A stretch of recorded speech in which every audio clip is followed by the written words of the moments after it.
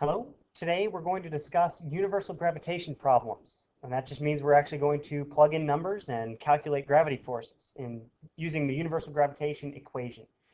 Remember, Newton discovered the equation gravity force is equal to some constant, which we call the universal gravitation constant, or big G. And we multiply that by the masses of the two objects and divide the whole thing by the distance between them squared. Um, and if we're going to do a problem, we actually need a, situation and we need the values of these things. Um, I'm going to use the situation of finding the gravity force acting on me from the Earth. So I need the two masses of me and the Earth. I need the distance that separates us, and I need the value of the constant. Well, I gave you the value of the constant. People have measured this in the lab, found it to be equal to 6.67 times 10 to the negative 11th Newton meters squared over kilograms squared. My mass is equal to about 65 kilograms. And now I need the mass of the Earth and the distance between us.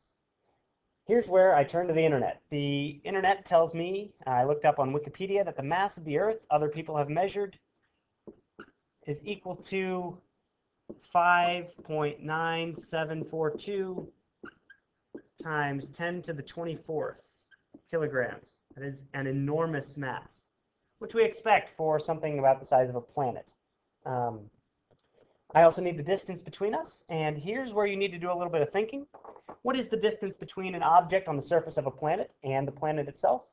It is not zero meters. Even though I am standing on the surface of Earth, uh, the distance between me and the Earth is really, what we need is the distance between the centers of mass of the two objects.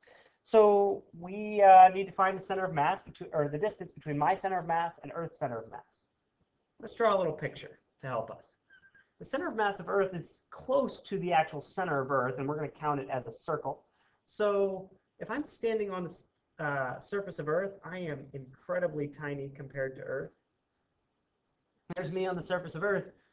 Uh, the distance between me and the center of Earth is about equal to the radius of the Earth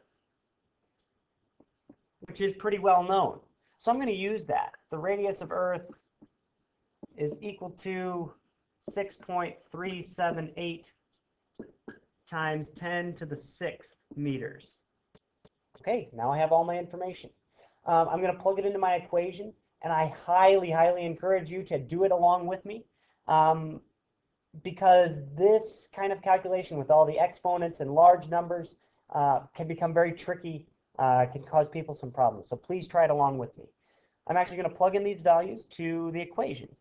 Gravity force is equal to the constant, 6.67 times 10 to the negative 11th, Newton meters squared over kilograms squared, which gets multiplied by the two masses of the two objects. Mass of Earth is 5.9742 times 10 to the 24th kilograms. And my mass is about 65 kilograms.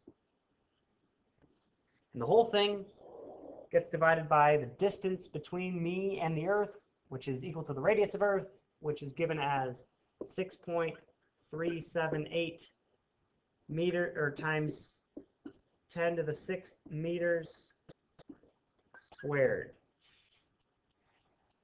Okay, now here, I really, really suggest that you pause the video, actually plug this into your calculator and find out what you get because if you don't get what I get, then uh, it's likely that you're doing something wrong and you should probably come see me in class or after class, find out uh, what you were typing in wrong. Um, so go ahead and pause it, find your value, and I'll post mine in a moment. I plug this into my calculator, and I get a value of 636.7 newtons. And that seems um, maybe reasonable. Um, the units, let's check the units.